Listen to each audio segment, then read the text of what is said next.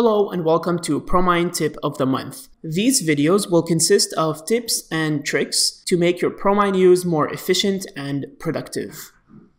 These videos will also be based on your suggestions and comments, so please feel free to reach out to us to make a request on something that you would like to see on ProMine. So this month we will see how to export an AutoCAD drawing into a 3D PDF. So a 3D PDF is basically a normal PDF, except that it's in 3D, and you can manipulate the object inside PDF. All right. So the first thing to do is to have your 3D model in AutoCAD. So for example, here I have an ore body that I inserted using ProMine Essentials. So I'm going to save this drawing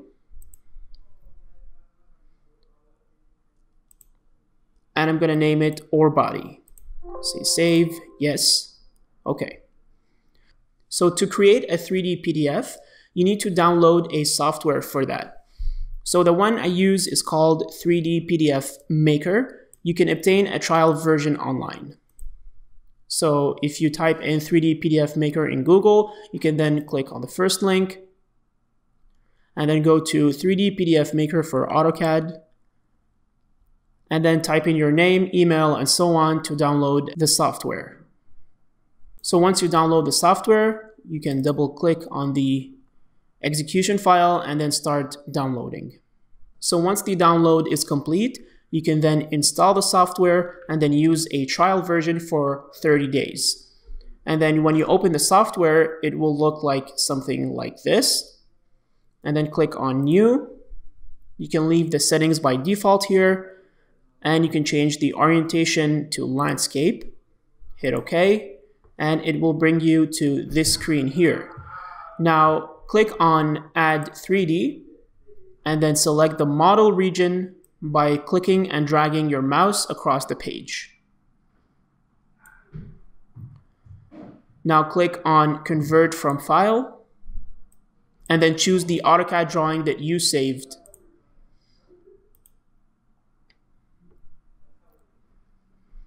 So this window will show up displaying your object in AutoCAD that you created. Then click on this check mark to save the file.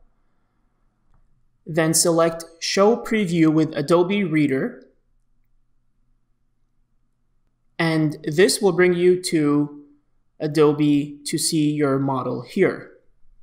And then you can rotate this drawing using the uh, spin tool here so when you click here, and then you can manipulate your object inside of PDF. And this is how you create a 3D PDF using an AutoCAD drawing. And then, of course, you can save this as a PDF. So this concludes the tip of this month. Again, if you have any questions, comments, or suggestions, please leave them in the comment section below or send us an email at info at promine.com.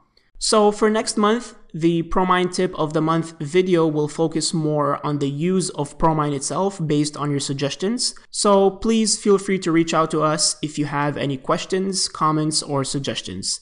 Thank you for watching and see you next month.